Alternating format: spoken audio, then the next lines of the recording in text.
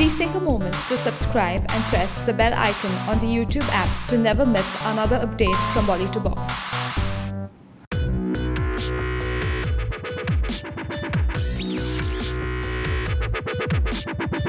It's been 13 days since Sridevi died and her daughter Janhvi Kapoor has finally resumed shooting. Although Janhvi has still not completely overcome her grief, but she did want to fulfill her mother's wish of seeing her big in Bollywood. And so with a heavy heart, Janhvi returned to the sets of Dhadak. It was quite an emotional moment. But what shocked us the most was the stark similarity between Janhvi and her mom Sridevi. Here we see Janhvi shooting and my my. Her sari, bindi and hairdo make her look like a mirror image of Sridevi from the film English Vinglish.